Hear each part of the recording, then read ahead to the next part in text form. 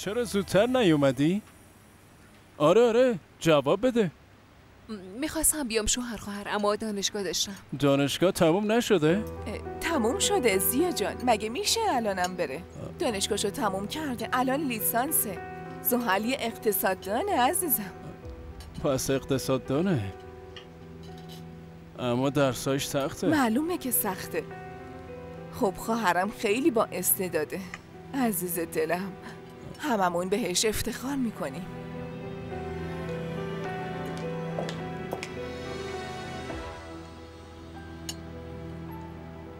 نوش جونتون.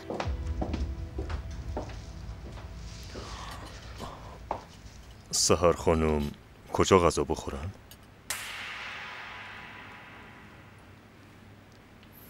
تو آشپزخونه.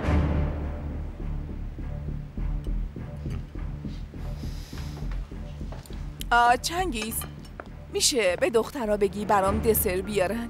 به نظرم شما هم بخورین ضرر نمی‌کنی چشم اقبال خانم حتما. نسلیهان نسلیهان کجایی تو ها؟ الو یه لحظه صبر کنین یه لحظه. نسلیهان رو ندیدی سهر جون؟ نه. سهر یه لحظه. الو چند دقیقه منتظر باشین. فقط چند دقیقه خیلی ممنونم. میشه ازت خواهش کنم اینو ببری به زیا بدی. اینو برای گلوش لازم داره بهشون ویتامین میده تا بهتر رشد کنن. خیلی روشون حساسه. اما اگه آقای یامان ببینه تو اتاق یوسف نیستم من که هستم تو برو عزیزم. خودم میرم پیش یوسف. نگران نباش. زود باش اینو ببر به زیا بده. برو عزیزم خیلی ممنون. زود باش. برو دیگه. برو عزیزم.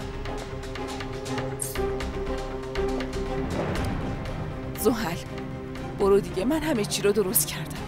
همین الان برو ولی تا وقتی یامان میاد تنهاش نمی‌ذاری. فهمیدی چی گفتم. خب دیگه.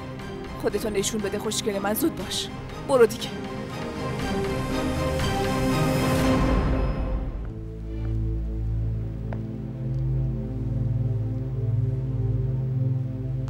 وایسا.